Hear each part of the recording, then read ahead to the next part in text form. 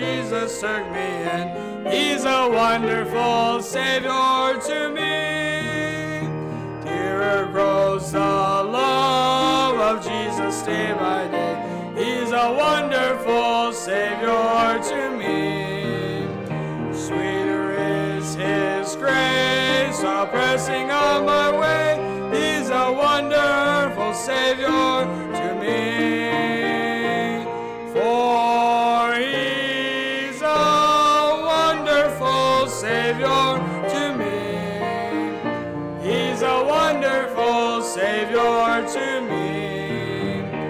I was lost in sin, but Jesus took me in. He's a wonderful Savior to me.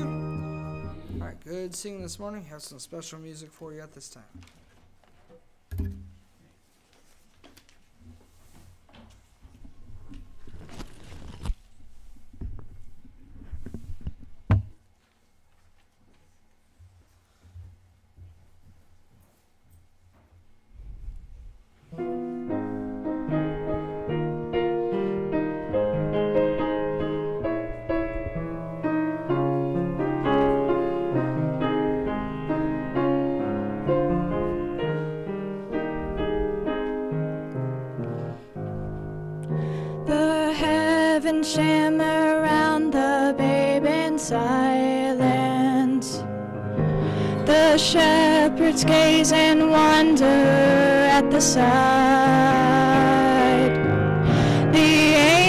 Angels look to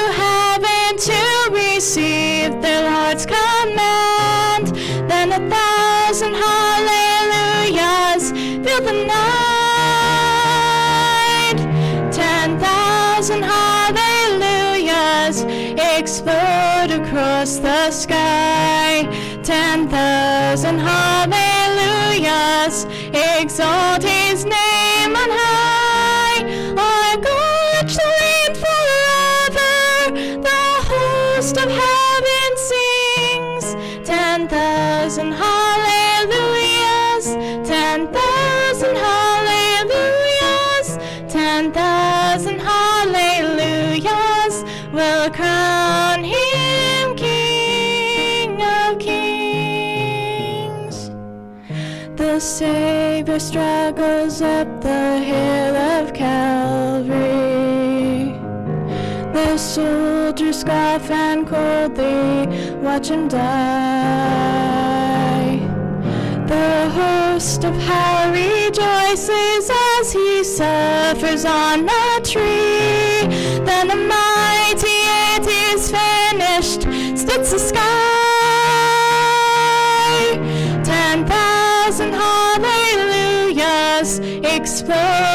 Across the sky. Ten thousand hallelujahs exalt his name on high. Our God shall reign forever. The host of heaven sings. Ten thousand hallelujahs. Ten thousand hallelujahs. Ten thousand hallelujahs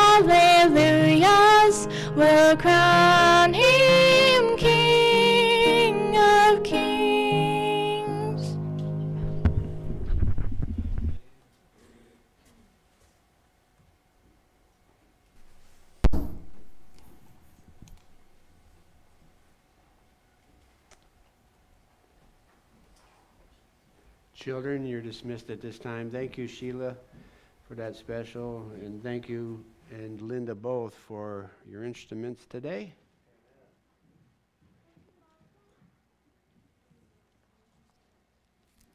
As they head downstairs, you can open your Bibles this morning to the book of Matthew, where we've been traveling along uh, through this entire book here. We find ourselves today in chapter 21.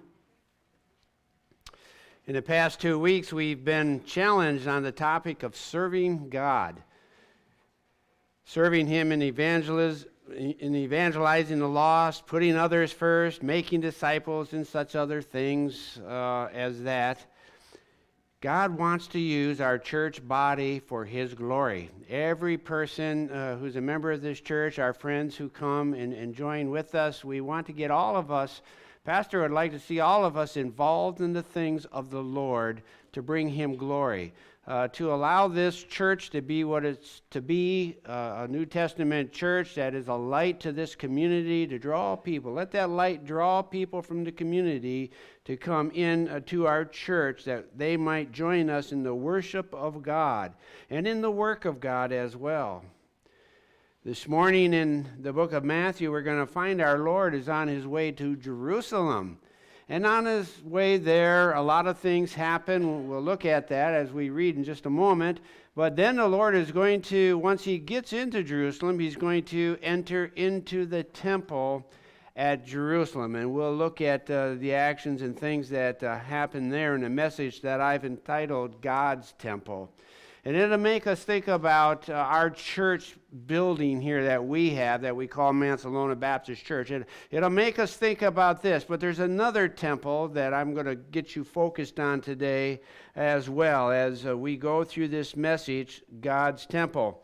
Uh, in verse uh, 1 of chapter 21, the Bible reads, And when they drew nigh unto Jerusalem and were come to Bethphage, unto the Mount of Olives, then sent Jesus two disciples, saying unto them, Go into the village over against you, and straightway ye shall find an ass tied, and a colt with her Loose them and bring them unto me. And if any man say aught unto you, ye shall say, The Lord hath need of them, and straightway he will send them. All this was done that it might be fulfilled which was spoken by the prophet, saying, Tell ye the daughter of Sion, uh, Behold, thy king cometh unto thee, meek, and sitting upon an ass, and a colt, the follow of an ass. And the disciples went and did as Jesus commanded them, and brought the ass and the colt, and put on them their clothes, and they set him thereon. And a very great multitude spread their garments in the way. Others cut down branches from the trees and strawed them in the way. And the multitudes that went before and that followed cried, saying, Hosanna to the Son of David. Blessed is he that cometh in the name of the Lord. Hosanna in the highest.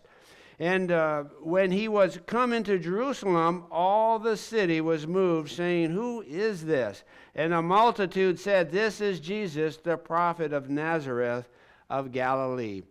Father in heaven, we thank you for the reading of your word this morning. I ask your blessing upon it as we look at this passage of Scripture that was read and a little bit more. I just would ask that you open our hearts and our minds to your word, to your truth, dear God, that we might be blessed by it, that we might uh, look at our own hearts and our own minds, and, and Lord, uh, see if we're in agreement with what you uh, would have us to do. And we'll give you the praise and the thanks as you guide us this morning here. In Jesus' name I pray. Amen. These verses here that Pastor just read, 1 to 11, are about Christ's entry into Jerusalem. Remember from last week, I think I announced we're about 30 days or so from him being crucified. And now he's coming into Jerusalem. And they're beginning to recognize who he truly is and making the announcement of that. Of that. And uh, it was a grand thing back then to take place. Uh, he hadn't received this before, but now he is. Multiple multitudes of people are involved in his arrival. I think of it as the red carpet rollout, okay? Uh, and so they're doing different things as he's coming in. They're laying their clothes on the ground where the ass would uh, carry uh, our Lord, and, and some cut and spread uh, tree branches all over his pathway as well. And some would use those palms to, to fan him as he was coming into the city. And not only did they get involved in this, but they all got in, involved in crying out loud praises to Jesus Christ, calling him a king and a prophet. And rightly so. He is a prophet, priest, and king. In the coming chapters, as we're going to move along through there, uh, through these, we're going to find out uh, he is going to be rejected. Now he's being greatly, uh, you know, welcomed into the city, but it's not going to be long after this. He only got 30 days. He's going to be greatly rejected and crucified and uh, will shed his blood on the cross for all of mankind. Uh, and so it's quite the reception that he is receiving here uh, today. Uh, and uh, look at verse 12 it goes on. This, you know, Christ enters into Jerusalem, but now we're going to see that Christ, once he's there, he enters into the temple of God.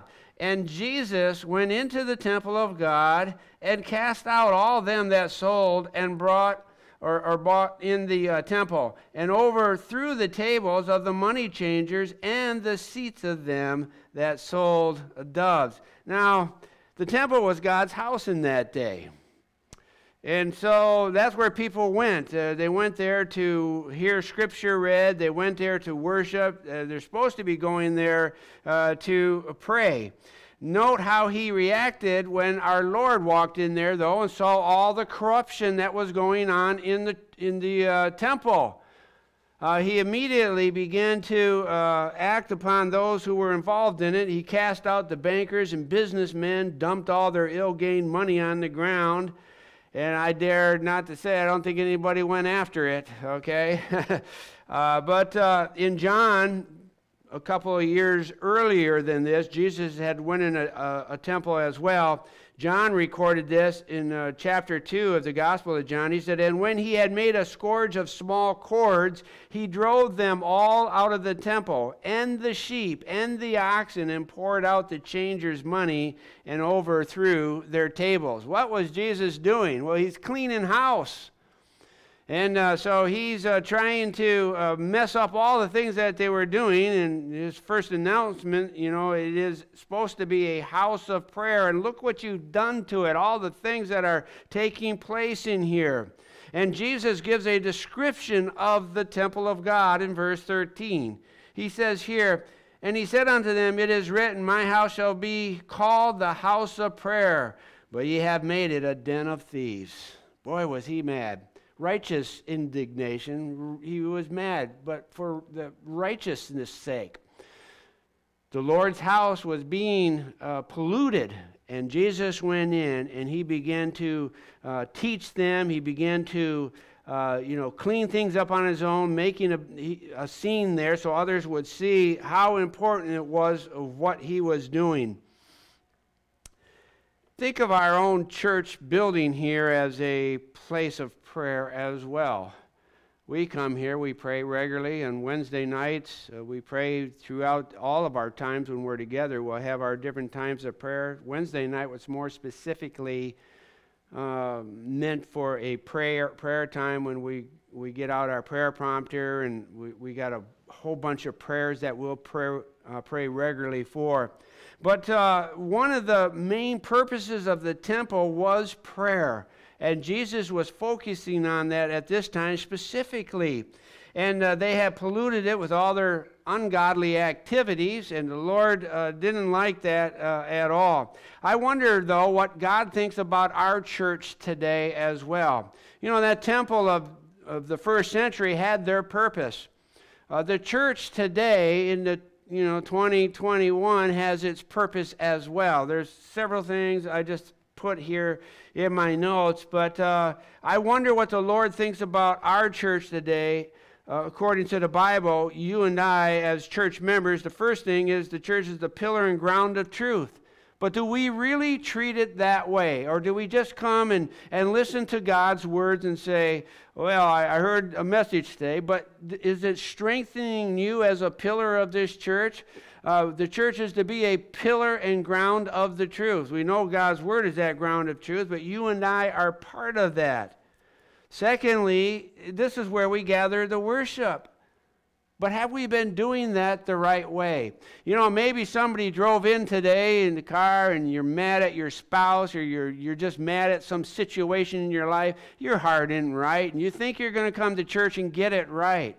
But I think the idea of coming to worship God ought to start at home when we get excited about coming into church and knowing that we're going to uh, sing songs to God's glory and praise Him, and we're going to get an opportunity to hear His word and to worship Him, to truly, in truth and spirit, just thank God for who He is. Thank Him for His word, and let that have an impact in our lives. You know, if you're if you're coming in and and uh, you haven't prayed before you come in, and you're just rushing to get here, and you got all these other things on your mind, uh, you haven't been preparing yourself to worship the Lord God.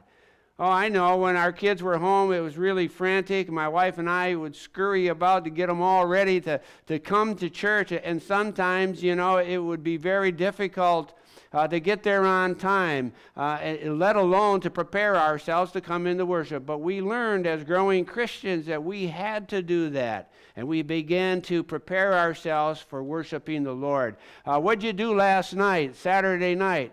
Uh, did you watch something on TV maybe you wouldn't want to tell anybody at church about? How did that prepare your hearts for today? You see, there's a preparation when we come to worship God. We can't just come here and turn it on immediately and say, ah, I'm worshiping God now. It doesn't work like that. What are we doing? The third thing is it's where we preach God's word on Sunday morning Sunday night, and during the midweek services. This is a place where God's word is, is preached. But I can tell you right now, my heart has been grieved. It truly has been because on Sunday mornings our attendance hasn't been what it ought to be. Uh, many will sit home and, and uh, they won't come to church for different reasons. And I'm not going after anybody. I'm just telling you, as a pastor, my heart has been grieved because of the attendance that we've had on Sunday mornings. And Sunday night is even worse. Uh, the numbers drop way down. I'm still preparing messages. I don't come in and just read something off the top of my head. I, I prepare messages to share with everyone when you come, whether it's Sunday morning, Sunday night, or on Wednesday. And let's don't talk about Wednesday's attendance because it's nearly dead. And my heart has been grieved over it. And I don't say this in meanness. I say this because, folks, uh, we're to come here to worship God, and that's another uh, sign to me that are we truly doing what God expects us uh, to do? And so, think of these things. We as a body are to reach, teach, win, and disciple people for the Lord. Uh, but few are really getting involved in what we're supposed to be doing here. And the, those who are, it seems like they're all wearing about 10 different hats and the workload is heavy. It's, it's not light, it gets to be heavy, and we got to deal with it. And I know all those who do get involved and do things, uh, they want to do as much as they can for the Lord, but we're just people uh, calling on the Lord, asking Him to give us the strength to do these things, but it sure would be nice to have uh, more come regularly and come more regularly and also get involved in the things that we do and, and, spread that load out, make that work a little bit lighter and allow the, the joy of the Lord to resound once again here at Mancelona uh, Baptist Church. God's house demands all of us to devote time and energy to participating in the right things in this church building here that please uh, the Lord God and not just our own interest. That's what I'm saying. When we come to worship God, it can't be about us and about our own interests. It has to be about Him and exalting Him here uh, in this place. I thought to myself, oh, what great joy there is in us serving the Lord God. I take a great pleasure in serving God more pleasure in when I'm able to worship God and to do so unhindered by burdens of the day or of yesterday. I want to come in without things like that on my mind and just uh, worship and praise God uh, with my church family. And it's a privilege to serve in this building where so much of that work is done for the Lord we come in here to get strengthened and, and, and uh, get some scripture that will hold us uh, throughout the week and as we go by day by day so that we can be serving the Lord out in the communities and at home, but also here in uh, the church is where most of that work takes place to carry us out. We have to come back and reload. We have to come back and plug the battery in and get charged again. And if you think your battery is one of those ever ready batteries that don't go out and you can charge your own battery, uh, I, will tell you what, fellowship around God's people and God's word is what is going to give us the biggest boost of energy that we need to move along. The Bible says to forsake not the, the uh, fellowship of the brethren. Uh, do not forsake that. There's a reason for that. I want you to think about this. These two verses I just read here. Let us consider our temple. Oh, we talked about God's temple that Jesus went in and turned it all upside down. Pastor's talking about us as a, a temple here. You know, this is our church building, this is where we come in. But I want to talk about our personal temple. I think it's time that we can see a parallel here with what Jesus was doing of this temple that he had to clean up to that of our temple, our own personal temple. What do you mean by that, Pastor? I mean, do you realize that our bodies are the temple of the Lord? And like our Lord said here, when he entered, uh, when Jesus went into the temple there in our text, he went into that temple. But today, all believers, Jesus has come into our bodies, and our bodies are now that temple. Scripture makes that clear to us a place of prayer, praise, purposeful serving, and to be used properly for God. I'm talking about our bodies now. If you're a Christian, Jesus Christ is in you. The Holy Spirit is in you. And the Bible teaches us that God is in us. And so we know we have that presence of the Lord in us. We are a temple that God dwells in. Praise the Lord for that. Uh, if we have not been using it properly, perhaps now's the time to start cleaning things up a little bit in our own lives, in our personal temples, and not this property that we call Mancelona Baptist Church. Sure, we can come in here and clean the church all up, and I, I really love it when we do. We want our church building to be a beautiful place when people come, uh, when members come to worship the Lord here. They don't have to be distracted by things that are amiss in the church. When visitors come to visit uh, with us, they don't have to look around and go, boy, nobody's taking care of that. Or, we want to have a place that no distractions are here, and it's a nice place to fellowship and to worship the Lord God. And I appreciate, I appreciate everybody who works to that end. We need uh, to have a place like this where we can come and uh, worship the Lord. And to have one that is as pleasant as ours is, is all that much uh, better, I believe, uh, for all of us and for the Lord as well. It's not busy work, it's work for the Lord. Turn with me, if you would, in your Bibles over to 1 Corinthians chapter 6.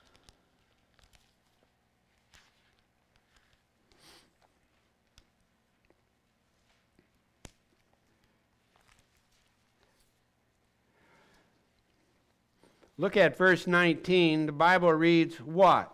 Know ye not that your body is the temple of the Holy Ghost, which is in you, which ye have of God, and ye are not your own? For ye are bought with a price, therefore glorify God in your body and in your spirit, which are God's. Now, how do we do that if we forsake the assembly of ourselves with one another? Uh, God tells us to not forsake our assembly with one another, but then when we do it, are we really doing what God this says that God is in us. Are we following his lead on this? Okay?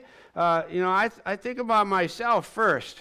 I want to make sure when I'm preaching this, I've already been convicted and, and got myself right uh, with the Lord over whatever message that pastor is preaching. But especially in this one, I find it so important. God's Spirit dwells in us, and when we say no to God's word, we grieve the Holy Spirit who is in us. Oh, yeah, that's what we do. We can grieve the Holy Spirit, the very eternal Spirit of God that is supposed to strengthen us uh, when we allow Him to and guide us according to God's Word, speaks to us. Here's a couple verses that I found. You might think of these as uh, interesting passages. You might want to write some of these down and consider them as you consider what Pastor is, is uh, sharing with you out of chapter 21. Think about Jesus walking in that temple. Think when you were a Christian and God uh, sealed you with His Holy Spirit. What did He find there? Well, He found uh, you and I forgiven of our sins, and He came in to make us a new creature. one that can glorify him. Ephesians 3:16 says that he would grant you, this is Paul talking to the church at Ephesus. He says that he, meaning God, would grant you according to the riches of his glory to be strengthened with might by his spirit in the inner man. Well, Pastor, I can't come to church all the time, or I can't do this kind of work, or I can't, you know, are, you ever run into the no person? Everything is a no. And I, I never want to say no to the Lord. I don't want to be seen by the Lord as the no person. uh, but uh, here we recognize that we are strengthened by the Holy Spirit of God to do what the Lord wants us to do.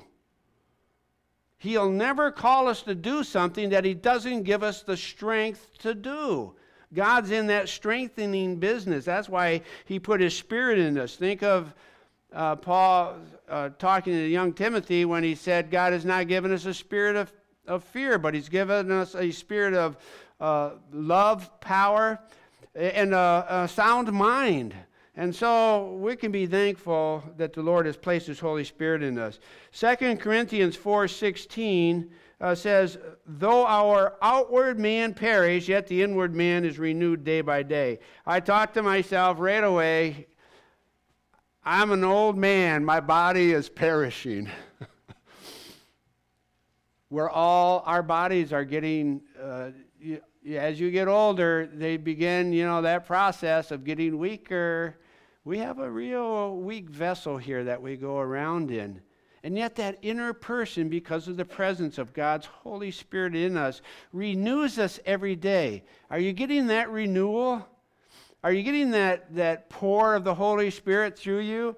You know, the fruit of the Holy Spirit is for our taking, and we can uh, really enjoy that presence of the Holy Spirit with us. Uh, but it's, it ought to be our Christian attitude, our Christian outlook ought to be renewed every day because of the Holy Spirit in us. That's what Paul was telling the, the Corinthian church as we grow and as we get older. And you may say, well, there's nothing I can do. I'm, I'm this old, or, or, or, you know, I'm really getting old now. I can't do what I used to do. Well, you cannot deny that, but you can also cannot deny that you're being renewed day by day if you're submitting to the Lord. And He's given you strength to do things. Here's another one, Galatians 2:20. It says, I am crucified with Christ. Nevertheless, I live, yet not I, but Christ liveth in me. Our bodies are a temple where the Trinity exists. God has really worked this out for us in a great way. Uh, and because He is with us, He doesn't want us sitting off somewhere by ourselves all the time. We were talking in our Sunday school this morning. There's no secret Christians. Uh, you, you can't uh, just stay away from church and say, you know, I'll worship God here, I'll do this, and I want nothing to do with those people. Oh, okay. Well, you be, if you think like that, you need to be here, okay, and know what God's word says and have fellowship with one another. Uh, we are uh, the Lord's. We gave up our life for Him. That's what Paul was telling the Galatian church here. He says, Never, I am crucified with Christ. Nevertheless, I live. But it's not me.